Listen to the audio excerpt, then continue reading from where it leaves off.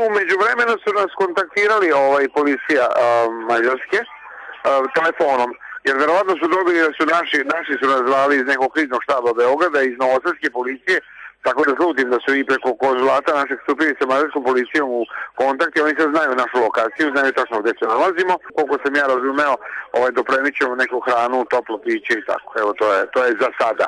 E sad, kada će to biti, ne znamo, kada će nas očepiti, ne znamo. Preko radi imamo neku informaciju da je 6 km puta čepa prema Be Beču je na, na, na vrhu tamo na čelu očišćeno i da su ljudi praktično, ovaj, ovog trenutka slušamo na mađarskom radiju informaciju od e, izjavu gradonačelnika Đera, to je koji se nalazi ispred nas, e, koji se spremaju da u ovoj, u ovoj u situaciji obezbede smeštaj, čebat, hranu ljudima koji će praktično sa autoputa biti dopremljeni do grada. Pa verovatno ćemo i mi biti među njima.